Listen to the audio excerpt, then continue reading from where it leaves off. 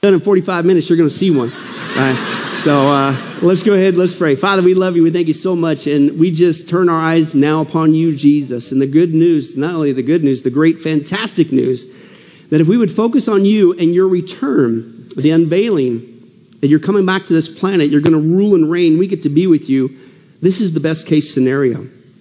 And help us, God. Open our hearts and our minds to realize that everything that we hear, even at this conference, even all today, you willing? And, and, and, just during the weeks and, and, and, prior to this all the news that we see with the new world order and the, what's going on with israel and the, the rise of famine and earthquakes and pestilence and wars and rumors of wars and technology and all that kind of stuff even wicked behavior which we don't condone. But all these are frankly signs from you not to get fearful but to get excited.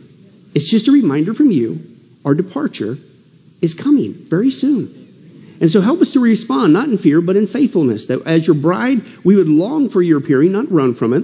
And as your bride, we get the gospel out. That's why we're still here. We're on the biggest giant rescue mission of all time. May we be found faithful. And God, as always, if there's anybody here or watching online that's not truly born again, I can be fooled, but you can't. If they're not truly born again and solely only trusting in the work of Jesus Christ on the cross, then God, please save them. This is not a game. The rapture could happen today and they'd be left behind, thrust into the seven year tribulation, your wrath being poured out on this planet seven years nonstop. And even if they could somehow survive all the way to the end, if they don't get saved, the angels are going to come scoop them up and throw them straight into hell. God, please, if there's anybody in danger of that reality, save them today before it's too late. May they join us in the blessed hope, the rapture. We love you and pray and ask your blessings upon our study. We ask all this in your wonderful name. In Jesus' name, and all God's people said, Amen. Amen. Check this out. This woman, she goes to, uh, uh, with her husband to the doctor's office, right? And he's got some troubles. And after the checkup, the doctor, he calls just the wife in all alone back to his office. And he says to the lady, he says, ma'am, he says, your, your husband, he's suffering from this very, very severe disease, right? Combined with horrible stress. In fact, if you don't do the following, your husband will surely die. And here's what you do. Each morning, fix him a healthy breakfast and be pleasant to him and make sure he's always in a good mood. In fact, for lunch, make him a nutritious meal that he can take with him back to work. And, and for dinner, prepare an especially nice meal for him. And don't burden him with chores because that could further his stress. Men, how many of you guys want this disease? Praise God. Right? And that's not all, but don't discuss your problems with him uh, because it's only going to make his stress worse. And then, in fact, try to relax your husband in the evening and give him plenty of back rubs and encourage him to watch some type of team sporting event on TV. And, and most importantly, satisfies every whim. And, and here's the good news if you can do this for the next uh, 10 months to a year, I, I think your husband's going to regain his health. So obviously on the way home, the husband asks his wife, he says, well, honey, what the doctor say? And the wife simply says, you're going to die.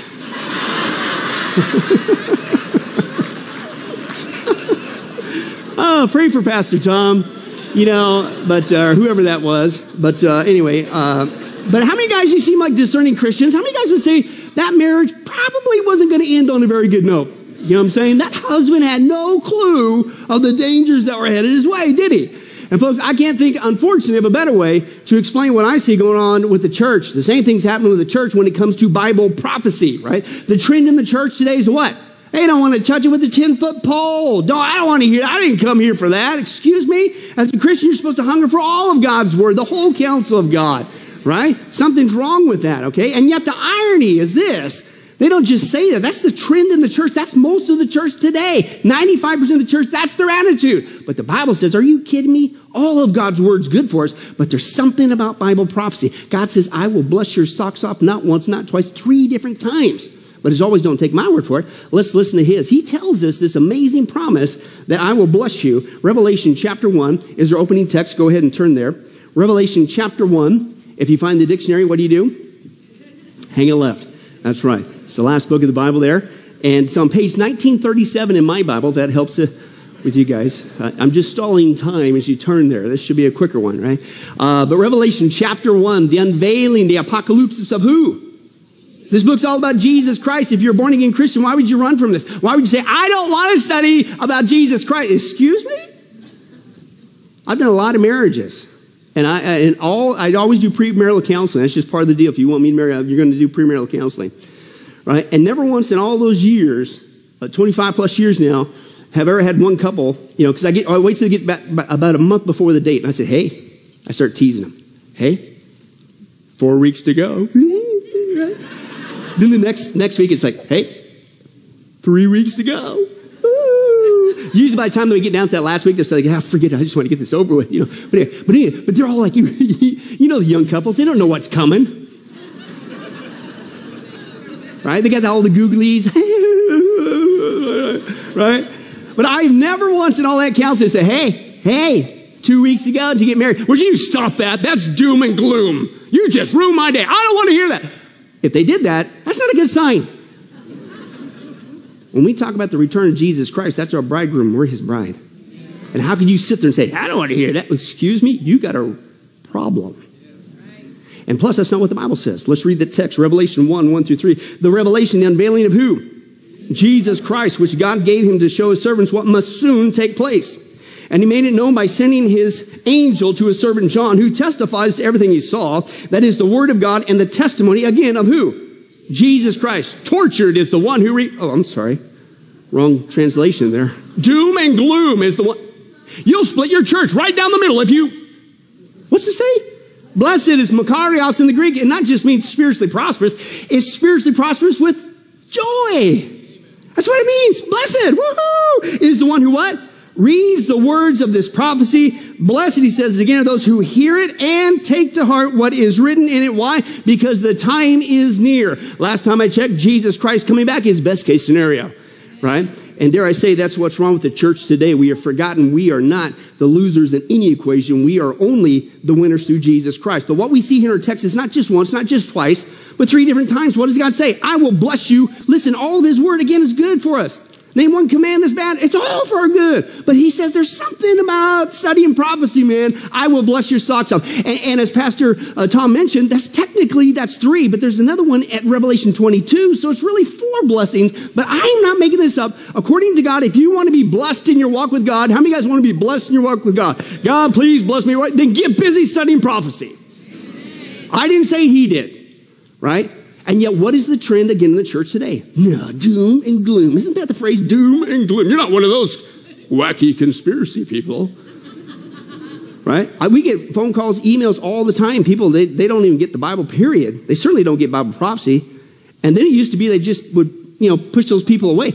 Now those people are being told to leave the church. Who just simply ask, can you teach us, you know, one third of the Bible?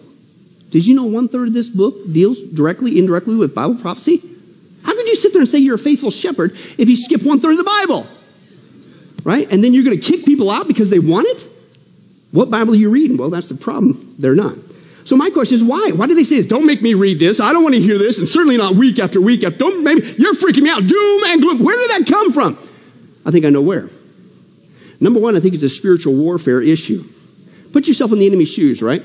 If you're this close to pulling off the Antichrist kingdom, and boy, do we see it rise today or what? New World Order, all that baloney? Then what is the last book that you want people in?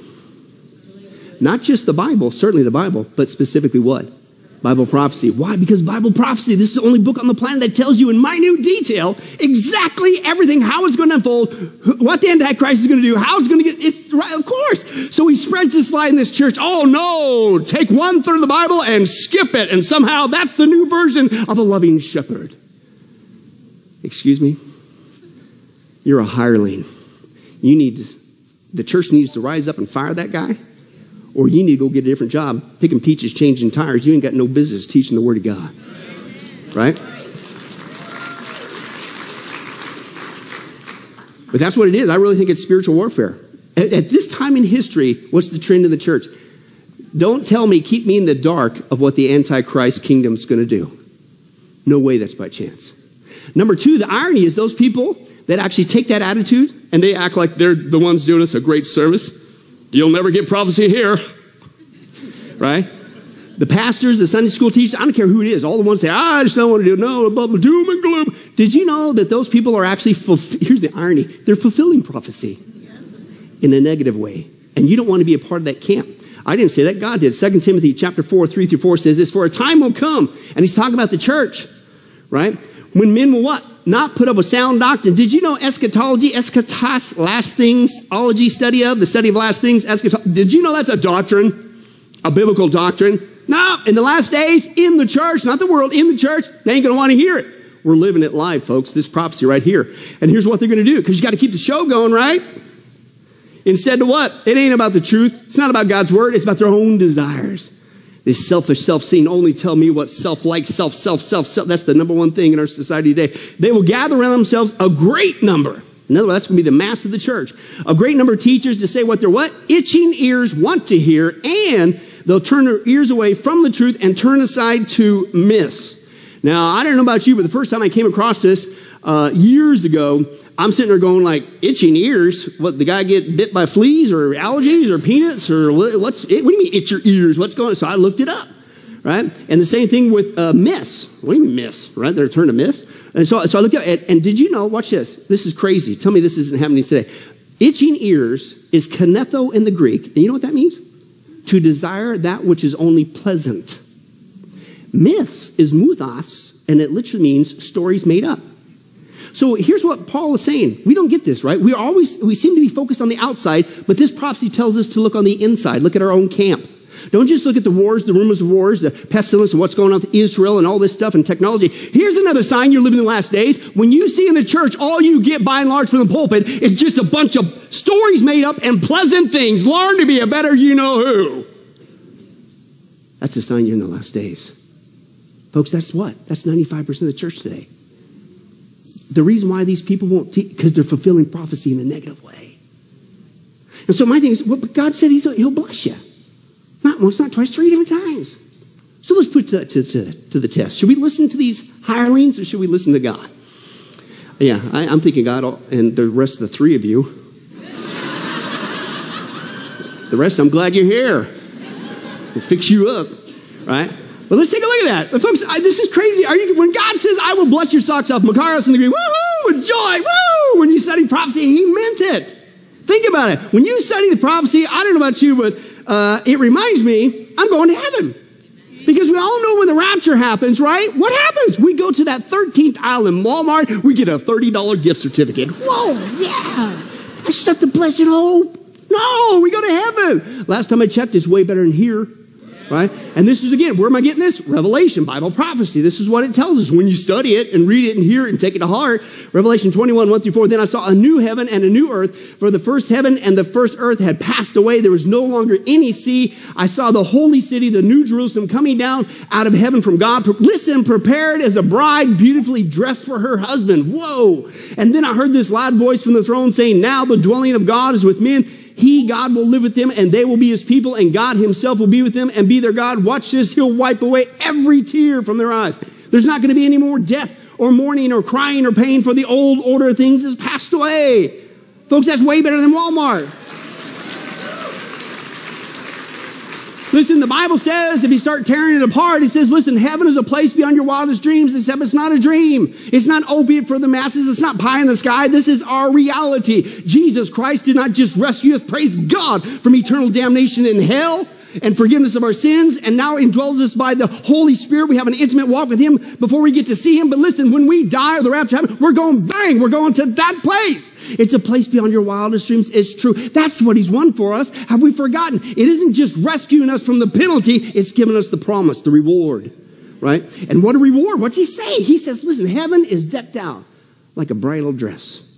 And ladies, you know that's, that's profound. Because you know when you got married, right? It was just like, yeah, you're just pragmatic. Get, get the thing done, right? In fact, you probably just went out back and says, let me just get a bunch of old socks or some uh, curtains or something, just stitch something together and get the job done. Just get this thing over. Because that's what you do when it's time to get a dress, right? Are you kidding me? What'd you do? You took that little square device called a credit card. You charged that baby up. You bought something super expensive. It was a one of a kind deal. It was decked out with all these gems and stuff and all this stuff. And it's a one kind event. Woohoo! And everybody's sweating. How much that cost? That's how heaven is. God has decked out heaven like a bridal dress. That's your first clue. Hey, it's kind of cool right? But then he goes on, he says even more. He says, What? He says, There's not going to be any more death or mourning, no more crying, no more pain. And think of what that means. Uh, 1 Corinthians 15 says, What? The great resurrection chapter, what? In the blinking of an eye, in the twinkling of an eye, bang, you get new bodies. Woo! Right? And you see, some of you young whippersnappers, you don't appreciate that, but you will if you live long enough. Right? And so let me break that down. What's it mean to get new bodies? Think about this. Never ever again. At the moment the rapture happens, never will you have a body that will die. It will not rot. It won't decay. It won't break down. It won't age. Is that incredible? Think of what that means, man. No more backaches, no more broken bones, no more disease. Ladies, no more anti-aging creams. That's right. No more wrinkles, no more crinkles, no more age spots, none of that stuff. Uh, makeup companies are going bankrupt. Why? Because our bodies, the scripture says, will be imperishable, which means, listen, never again will you have to live with this reality. Watch this. Uh, no more will you wake up and go to the breakfast table and you hear snap, crackle, and pop, and, and you discover you're not eating cereal. That's you. No more will you sit in your rocking chair and you can't even get it going. Right? No more will you sink your teeth into a steak and they stay there. No more will you go to bed realizing that you and your teeth, you don't even sleep together anymore. Right? No more will you bend down to straighten out the wrinkles in your socks and realize you ain't wearing socks. That's, ooh, right? It gets worse. And, and, and listen, no more will you wake up looking like your driver's license picture. No more will you, your knees buckle, but your belt won't. And listen, no more will you have more hair growing on your ears than on the top of your head. What's up with that? Uh, and no more will people call you at 9 p.m. saying, oh, I'm sorry, did I wake you up? Right? Okay, and finally, no more will you look for your glasses for a half hour before you realize what? They're on your head the whole time. You won't need glasses. You won't have memory problems. Folks, this is what we're headed for. It's not pie in the sky. Our bodies in heaven will be perfect forever and ever and ever. And when, when does it happen? Bang, it's a rapture. I'm, I'm, I'm sorry, that's doom and gloom. I tell, I'm sorry, we're going to split the church. I better stop. Are you kidding me? In fact, it gets even better. Heaven is so cool if you keep reading the scripture, which I highly recommend. God said, He's so cool. He's, he's like a romantic gentleman. Jesus is, isn't he? He's so awesome. He says, There's some things about heaven. I haven't told you everything. In fact, I can't tell you because you just can't, with your current body limitations, you can't get it.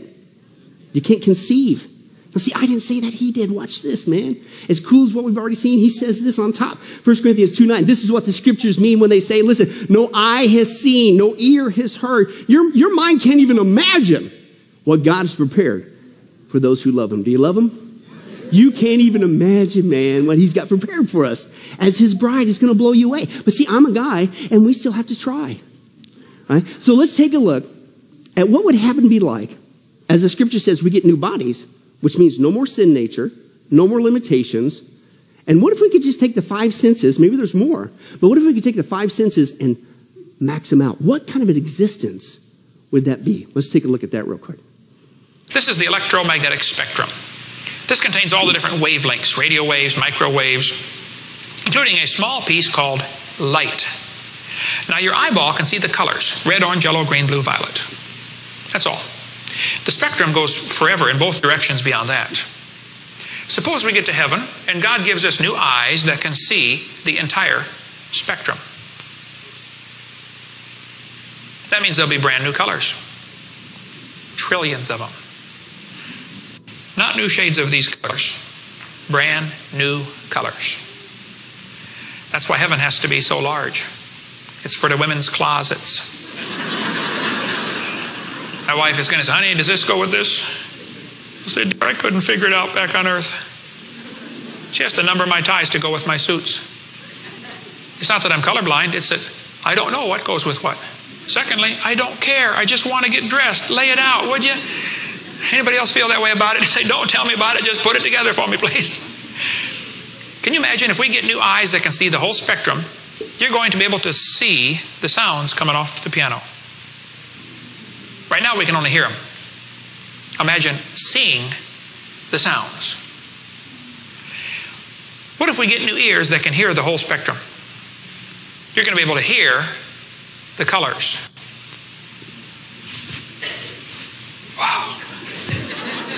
Or smell them. Yellow. Or taste them. Ah, green. Wow. We've only got five senses, folks. Maybe there's more. but if God just took these five and expanded them to the max, we would spend forever walking around heaven going, wow, wow. Have you smelled that? Come here, lick that. Wow.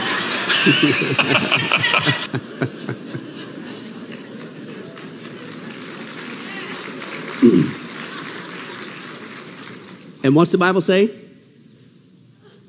No eye has seen, no ears heard. Your mind can't even imagine in these limitations what God has prepared for us. I'm so sorry I shared this with you. You guys are going to be in the dumps. You're going to go out there and you're going to split the church and be horrible Christians and you'll never smile again. Are you kidding me? This is not doom and gloom. I don't know about you, but this is exciting stuff, right? No wonder God says, Blessed are those who read and hear and take to heart Bible prophecy again and again. Why? Because it reminds me I'm going to heaven, a place beyond my wildest dreams, where life will be absolutely perfect forever. No more tears or crying or mourning or death or pain. And it's all because you did what God said. Study all His Word, especially prophecy, right? But that's just the first blessing. The second one is this, man, we're going to the millennium, right? I don't know about you, but you know, sometimes you hear Christians say, well, Pastor Billy, you know, that's kind of cool. We're going to heaven, but I mean, don't you think after a couple years floating on a cloud going, it's going to get kind of old? I mean, yeah, you and Pastor Tom and Pastor Brandon, you guys could do a little trio. Right? That'd be cool for a weekend, but really, that's all we're going to. Well, first of all, there's more to heaven than that. Okay, but whatever. But listen, we forget as Christians, we're not only ill equipped on the on heaven, it seems, unfortunately, we're ill equipped on, we come back from heaven. You know that. God has designed us for this planet. And the planet and the conditions it's going to be in in the millennium is just amazing. Okay? In fact, one of the reasons why it's so cool is because during that time, Satan is bound. Right? And this is what we see in the scripture. Again, where am I getting this? Revelation. Revelation 21 through 4. And I saw an angel coming down out of heaven, having the key to the abyss and holding in his hand a great chain. And he seized the dragon, that ancient serpent who is the devil or Satan, and bound him for a thousand years. I got to kick this every time I see this. How many holy angels of God did it take to bind Satan? Let that sink in. See, we, we, we do two things wrong in the church. We either overemphasize the devil. Oh, the devil made me do this and the flat tire and the demons with this and I'm scared. God hasn't given us a spirit of fear, but power, love, and a sound mind. Greater is he that is in me than he that is in the world. I don't need to walk around. Or they go the other spectrum. Did you know professing evangelicals today, 65% do not believe in a literal devil? That's the facts. So we either overemphasize or deemphasize. But here's what I love one holy angel of God. Satan is powerful. You don't want to mess with him. He's real. But he's nothing compared to God. Amen? And we belong to God. Keep that in mind. Right? But then he goes on. So he seized him for the millennium came and he threw him into the abyss. He locked and sealed it over him to keep him from deceiving the nations anymore until the thousand years are ended. If you study Bible prophecy, you study Bible, which I highly recommend. Uh, guess what? You're going to see the good news. We're not just in heaven, right? We're up there for seven years during the seven year tribulation. Revelation 19, we come back with Jesus Christ to what? Set up with him the millennial kingdom. We get to rule and reign with him. Isn't that cool? And one of the reasons why it's so awesome is you just read, that means our greatest arch enemy, i.e. Satan, is bound the whole time. Which think about that existence. That means he can't incite the evil, the suffering, the rottenness, all that that we deal with today. It's gone for a thousand years.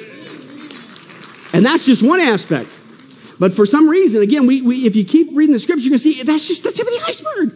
That's cool enough to have Satan bound. But the scripture says this Old and New Testament talks about this kingdom, the millennial kingdom, the thousand year reign of Jesus back on earth. It says this the, the war will be a relic of the past.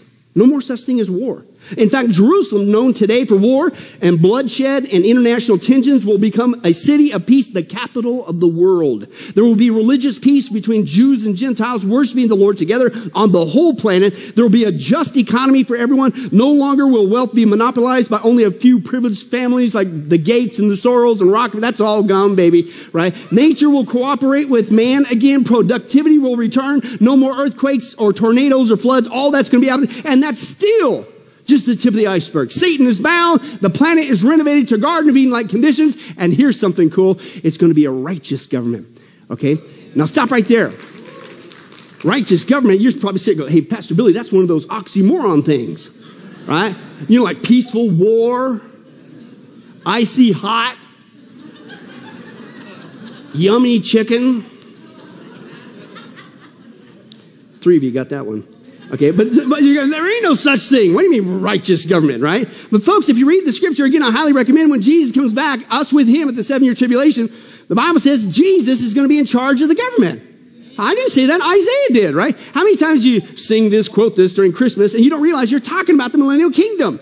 Isaiah 9 6, for to us a child is born, to us a son is given, Jesus, and he, the what? The government will be on his shoulders, and he's going to be called Wonderful Counselor. Now, the key word there is government. He's talking about the government specifically in the millennial kingdom when Jesus comes back with us at the end of the seven year tribulation, the second coming. Isaiah says Jesus Christ is going to be in charge of the global government, and that's wild. And sometimes I think we, we hesitate that because we're not equipped with this time frame called the millennium, which is our future that Christ won for us. But, but sometimes we, we tend to only think of Jesus as, a, as the, uh, the lamb, right? Who, who sacrificed for our sins. And that's true. And then we've seen songs about he's the lion of the tribe of Judah. He defeats our enemies. And that's true. But listen, Isaiah is telling us, did you also know that Jesus, listen, he's got another title. He's coming back to the planet to be, listen, the divine political ruler. And all two of you are excited. now, but you prove my point. The Bible says the government's going to be on Jesus' soldiers. And I think sometimes we, we resist Jesus, politics, the government. That's kind of a weird combo.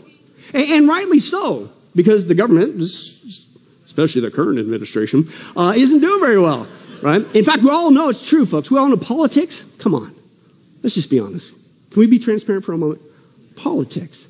It comes from two words. Poly, meaning many, ticks, blood sucking creatures. Right? And so that's what's going on.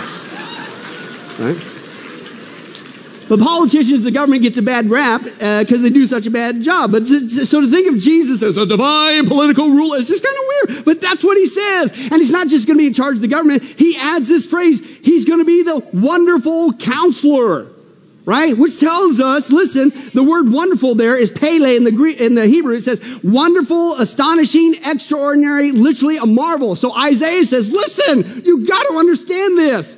When Jesus is in charge of the government on the whole planet, think of what that means. It's going to be the most astounding, wonderful, extraordinary, marvelous government you could ever imagine. Why? Because Jesus Christ will be in charge. He's the only one giving counsel, and his counsel is only that which is right every single time. It's wonderful. You will never be steered wrong. He'll never do anything unjust ever. You can't bribe him. He's the one that's going to be in charge, which means never again will we experience this that we experienced from the government. Remember Nixon? Remember Nixon back in the day? Uh, I am not a crook. Remember that thing, you liar? Remember that one? Remember, remember George Bush Sr. when he said, read my lips, no new taxes. You liar.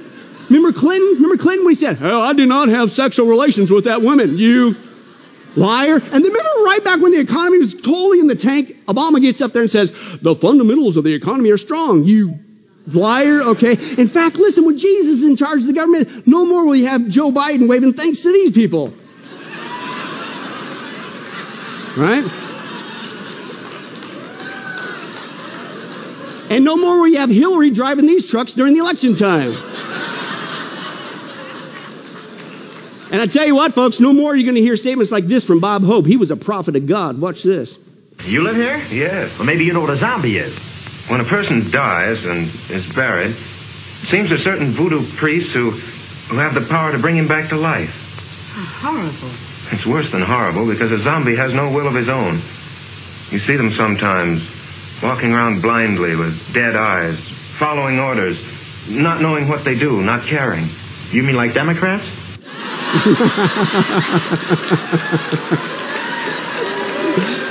oh, wow. Did you know that Bob Hope was a prophet of God? I didn't know that. I tell you what. But this is what the Bible says no more of this stuff that we're experiencing today. Don't you realize? Never! On the whole planet. Jesus is going to be in charge. The government, his counsel is going to be wonderful. He's the ultimate politician. We get to rule and reign with him. He's the King of kings, the Lord of lords, the wonderful counselor. Nobody can bribe him. You can't lobby against him. You can't make him do anything wrong. He only does that which is right all the time, every single time. There's never unjust law ever. It's impossible. Jesus will only do what is right for the people every single time forever. And think of that, what it means. Nobody's going to run against him. There's no option. right? That means, listen, never again. No more elections, no more election campaigns, no more voting, no more hanging chads, no more rigged election machines, no more mudslinging political ads, no more government oppression, and no more Dominion voting machines. Hello.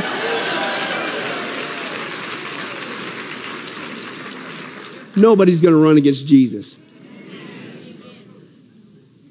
And all this New World Order baloney, man thinking he having his heyday, you better read Psalm chapter 2. God is up in heaven laughing at you guys going, You really think you're going to take over my son? You better kiss the son lest he be angry with you. Because he's coming back to rule and reign. And we're with him. Let me give you one more, right? Not just Garden of Eden like conditions. It's going to be awesome. Satan is bound. Jesus is going to be in charge of the government. I love this one. We're going to have peace with nature. We're going to have peace with nature. Do you guys realize what that means? Right? All, not just my vicious wiener dogs, all animals are going to be tame. Right? I didn't say that. Isaiah did. Keep reading two chapters later. He talks about the millennial kingdom, right? Isaiah 11. This is what we're headed for. This is not make believe. This is awesome. Dr. Dolittle, eat your heart out. The wolf will live with the lamb. Whoa, stop right there. If you, st- you know, there are actually people today say, oh, we're in the millennium now. Really? How's that working out for you? I don't see Satan bound he's doing pretty well. But if you put a wolf and a lamb in a cage today, what would you have? Lamb chops is what it's called, right? We're not in the millennium. Are you kidding me? Right? But at that time, watch this. The wolf will live with the lamb. The leopard will lie down with the goat, the calf, the lion, the yearling together. And a little child will lead them. What? Yeah, and he says, in fact, the cow will feed with the, the bear, right? Their young will lie down together. The lion will eat straw like an ox. Everything's going back the way it was in Garden of Eden like conditions when things were vegetarian. The animals are vegetarian, didn't eat meat until after the flood, Genesis chapter 9. And then and it says this uh, the infant will play near the hole of the cobra. The young child put his hand into a viper's nest. What? They will neither harm nor destroy on all my holy mountain, for the earth will be full of the knowledge of the Lord as the water covers the seas. Is this incredible or what? The Bible says that, listen, all animals, all animals, including wild animals, are going to be tamed. It's going to be, if you will, domesticated Africa up across the planet. Even the leopard will be tamed like a goat. Kids can stick their hands in a viper's nest. it tickles. That's what he's saying. And, you oh, come on. that, that must be symbolic. You can't take that literally because there's no way the kids will be safe playing with snakes and I think God, and he's a gentleman, remember? I think sometimes he gives us a taste of how it was supposed to be before it got messed up with the fall of man in Genesis 3, but how it's going to be fixed again right in the millennial kingdom. He gives us glimpses of peace with nature. Watch this. It's not exactly the partner you'd expect a primate to fall for, but an unusual love story has been forged between Surya, the six year old orangutan, and a stray hound dog named Roscoe. For these logic defying friends, it's all hugs and cuddles since the day they met three years ago when Surya spotted the dog from high atop an elephant while on a ride with his trainers at this South Carolina animal park. To me, they seem like long lost friends. This other, more whimsical partnership between predator and prey has been seen on YouTube some 5 million times. A cat and a bird that shouldn't get along playing hide and seek, even wrestling. Two of nature's enemies frolicking like fast friends. From the hippo and the tortoise who sidle up next to each other, so many of these relationships are hard to explain. How's this for a unique animal friendship? 350 pound lion Bone Digger is best friends with a fearless seven year old dachshund dog named Milo. They may seem like unlikely friends, but Jericho the horse is perfectly happy to let this baboon laze on his back while they both soak up the sun. It may look like this dog's days are over, as a jaguar appears to go in for the kill. But things aren't always what they seem. In fact, this unusual pair are actually best friends. These two struck it off straight away. And now this feline canine combo are inseparable. They don't leave each other, they feed together, sleep together, do everything together. 24 hours a day, they haven't been separated at all. They are like brothers. Sean Ellis from Devon in England has integrated himself into a pack of wild wolves. The pack itself began when the wolves, in particular, um, were only a few days of age. I still consider myself to be part of that family. Okay, you got the pile, don't you? Oh. Like millions of people around the world, Mark Dumas loves nothing more than to take a morning swim. But for him, there is a rather massive difference as Mark swims with a polar bear.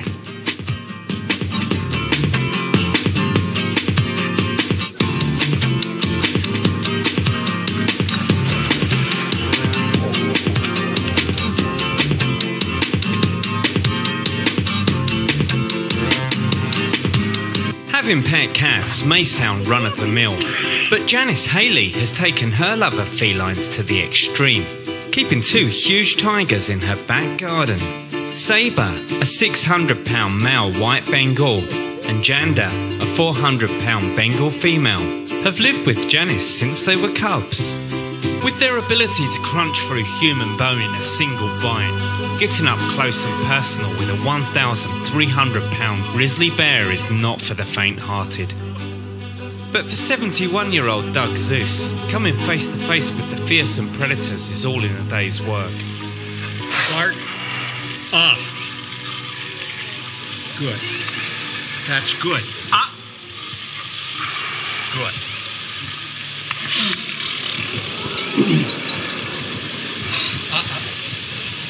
This pairing, researchers say, is one of the strangest animal bonds ever seen. A lioness who, instead of eating her dinner, adopts it.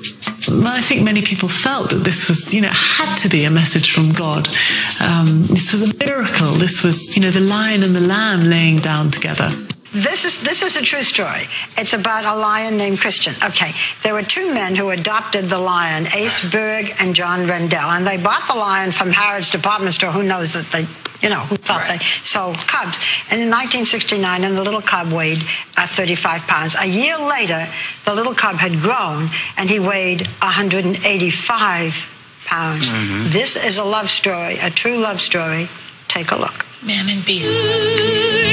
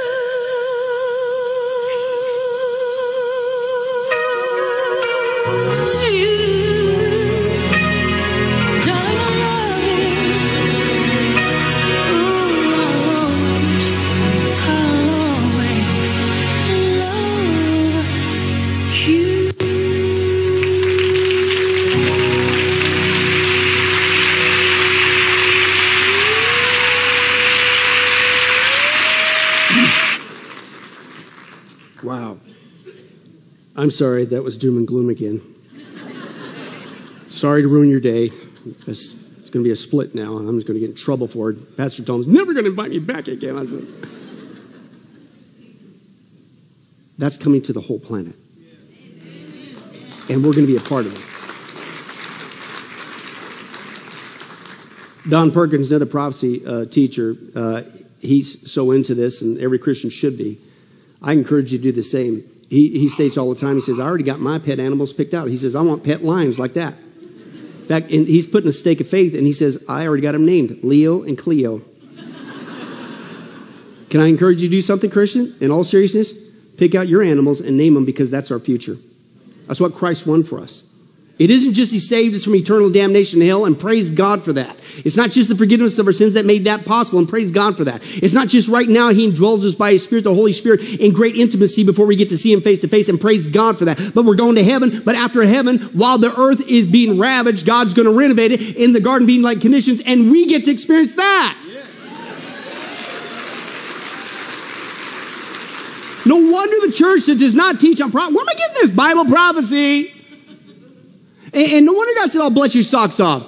And no wonder the church that refuses to teach on Bible prophecy, uh, talk about a rotten advertisement for Jesus. You're walking around, hey, you need to get saved and be like me. Doom, despair, and agony. The spirit of hee-haw theology's all over them. It looks like your diet is pickles, sour limbs, and prunes. That's a bad advertisement for Jesus. But listen, if you know what he saved us for, the future, Makarios in the Greek, I'm not just blessed, I'm blessed with what? I got to pay somebody to slap this smile out.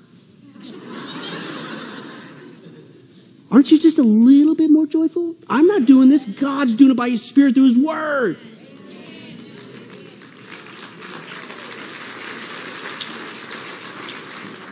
One man says about the millennial kingdom, watch this. He says, under the direction of Jesus Christ, the resurrected believers of the church will provide the leadership necessary for a just society for mankind on the whole planet. Listen, the greatest adventure we could ever imagine awaits for us in the reality of the kingdom of Christ. Why should I study Bible prophecy? Because it reminds me that my greatest adventure awaits. The more I study it and read it and hear it and take to heart, I am blessed over and over again. It's not doom and gloom. That's a lie from the pit of hell. But we got one more. Remember, he said a triple fold blessing. And I hope this is really as cool as what we've seen so far. I hope this is really what you're looking forward to. We're going to get to see Jesus. No more of this invisible stuff.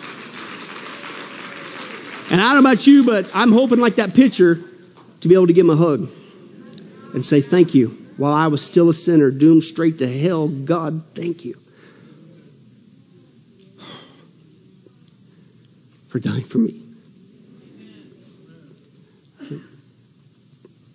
And when you talk about the return of Jesus Christ, all heaven is busting loose. Every time we hear news about the return of Jesus Christ, which is what really is going on in the news, hello. All it is is God's, hey, it's getting close. It's getting close. What's getting close? Not just the rapture. What happens? All this future we're talking about. It's God's loving way of saying, get excited, bride. I'm coming back. This, your future's coming. What I want for you, right? And when you talk about the return of Jesus Christ, whether it's current events, because that's really what you're doing, it's a reminder that Jesus comes. Oh, hey, thank you for sharing that on the news, uh, CNN or Communist News Network, whatever you stand for, all that stuff. I almost forgot today that Jesus comes. That's all it is, translated for what it is. But when you talk about the return of Jesus Christ, all of heaven is busting loose, man. And that should be our attitude, right? I didn't say that. Where am I getting this? Bible prophecy. You're seeing a common thread here. Revelation 19, 1 through 9. This is the second coming of Jesus Christ, us with him at the end of the seven year tribulation. After this, I heard what sounded like the roar of a great multitude in heaven shouting, Hallelujah! Salvation and glory and power belong to our God, for true and just are his judgments. He's condemned the great prostitute who corrupted the earth by her adulteries. He's avenged on her the blood of his servants. And again they shouted, Hallelujah! The smoke from her goes up forever and ever. The 24 elders, us, the church, and the four living creatures fell down to worship God who was seated on throne. And they cried, Amen, Hallelujah! And then a voice came from the throne saying, Praise our God, all you his servants, you who fear him, both small and great. And then I heard what sounded like a great multitude like the roar of rushing waters, like the loud peals of thunder shouting, Hallelujah! For our Lord God Almighty reigns. Let us rejoice and be glad and give him glory. Why? Because the wedding of the Lamb has come. The bride has made herself ready. Then the angel said, Right, blessed, again, there it is, are those who are invited to the marriage supper of the Lamb. And he added, These are the true words of God. In other words, you can bank on it, folks. You can take it to the bank. Jesus Christ is coming back and he's going to put it into all this baloney.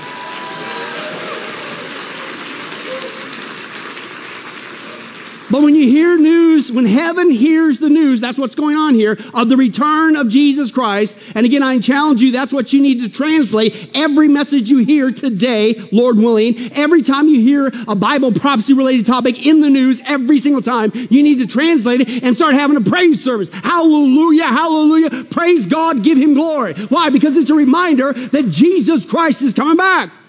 And he's going to throw us, his bride, an incredible wedding party. And God knows how to party. And I know what he parties with. Luke 15 23. When God throws a party, he says, Bring in the fatted calf. Not chicken, people. Come on. Come on. Why do you think there's hamburgers today? We're being biblical, right, Pastor Tom, wherever you are? Anyway. But Jesus is coming back, man. And that's when all this gets to put into play the millennial kingdom, all that stuff. And then even after that, you have the new heavens, the new earth, no more mourning cry. It's all awesome. This is our future. The one who won all this for us. He rescued us from the dominion of darkness. He defeated death, hell, and the grave. He's going to throw us an amazing wedding party. Woo-wee! And folks, Jesus, he's the ultimate king. In fact, yeah, it makes me cry too when I think about it, right? Uh, but one guy, he puts it this way. Watch this. The Bible says, my king, he's a seven-way king. He's the king of the Jews. He's the king of Israel. He's the king of righteousness. He's the king of the ages. He's the king of heaven. He's the king of glory. He's the king of kings. He's the Lord of lords. He's my king. Do you know him? My king is a sovereign king. He's enduringly strong. He's entirely sincere. He's eternally steadfast. He's immortally graceful. He's imperially powerful. He's impartially merciful. Do you know him? He's the greatest phenomenon that's ever crossed the horizon of this world. He is God's son. He's the sinner's savior. He's the centerpiece of civilization. He is unique. He's unparalleled and he's unprecedented. He's the loftiest idea in literature. He's the highest personality in philosophy. He's the supreme problem in higher criticism. He's the fundamental doctrine of true theology. He is the miracle of the age. He is, yes, he is the superlative of everything good that you choose to call him. He's the only one qualified to be an all sufficient savior. Do you know him?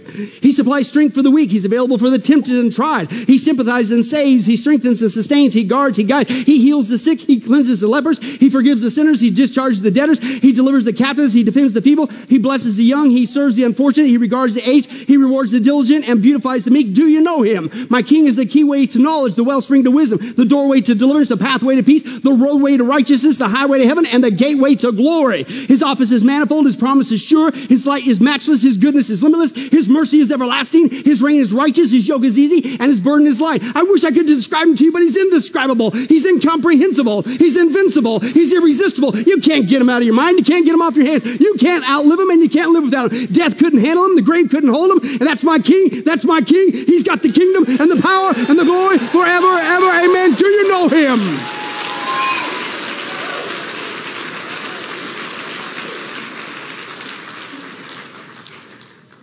We get to see King Jesus face to face. Why did God say, if you would just read all my word, and certainly Bible prophecy, you know what I'm going to do? And tell me this isn't the antidote we need today. We need to get back to Bible prophecy. This is why you need to be excited when you have shepherds like Pastor Tom and Pastor Brandon who will teach you all God's word in Bible prophecy. Because you'll be blessed. Not just once in a while, but the more you read it and hear it and take it to heart, it reminds us of the future. That's what the enemy doesn't want us to know. He wants us to get focused on the earth. The scripture says, keep your mind on things above, not on this earth. This earth will drag you down. But we're not saved for this version of the earth. We're saved for this one to come. And nobody can take it away. Every time I study Bible prophecy, I am blessed beyond measure. Why? Because I'm reminded I'm going to heaven, a place beyond my wildest dreams. I'm going to the millennium where my greatest adventure awaits, and I get to see my King Jesus face to face who loved me and won all this for me in spite of me,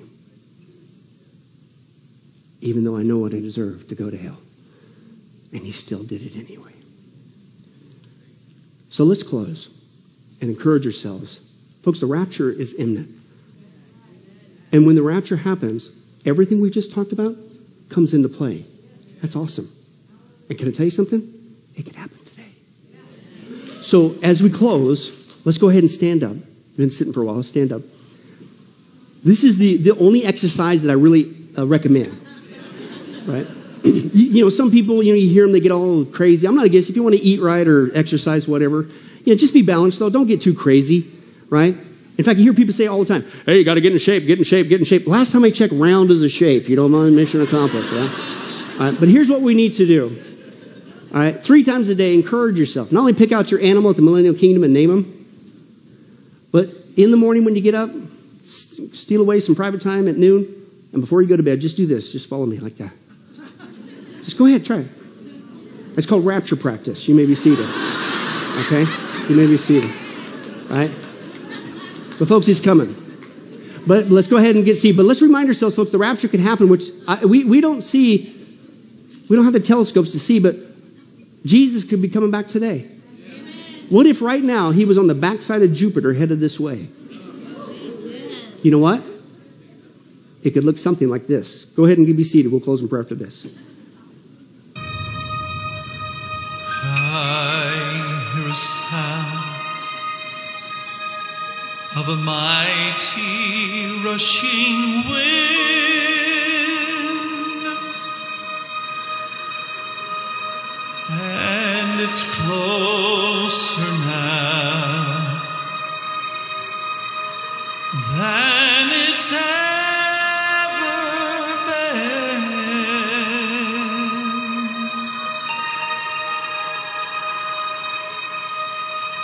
I can almost hear the trumpet as Gabriel sounds the call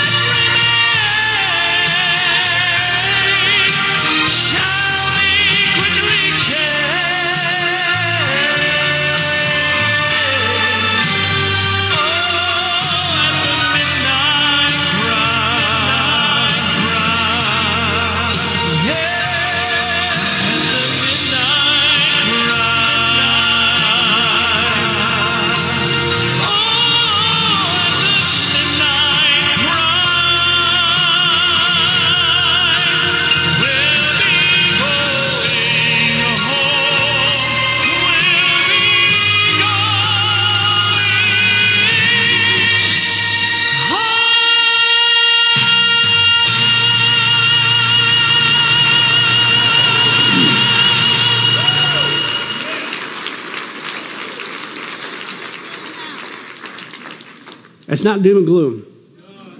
We're going home, church. all the stuff we see in the news, translate it for what it is. It's not a time to be fearful. It's a time to be faithful, get the gospel out, and get excited. Because we're the winners, not the losers. Amen? Let's pray. Father, we love you and thank you so much again for our study today. And thank you for doing exactly what you promised to do. You would bless us a triple fold blessing. And help us as your people, God, to be out there, to be active, living for you, sharing you with as many as we can. Because we got family members, co workers, neighbors who are in danger of being left behind. May we not only be excited, longing for your appearing, may we be faithful. You're going to find us doing something as your bride. May it be with a smile on her face, leading souls to you. And God, as always, if there's anybody that's not truly born again, that if that event, the rapture, would take place today, and it could, and they're in danger of being left behind, please save them, Jesus. Please have mercy on them, just like you did with me 28 years ago, and save them before it's too late. But we ask your blessings upon our study to these lives that belong to you. We ask all this in your wonderful name, in Jesus' name. And all God's people said, Amen. Thank you, Billy. That was great. So I told you be blessed. So here's the story. Okay, there's a, a barbecue.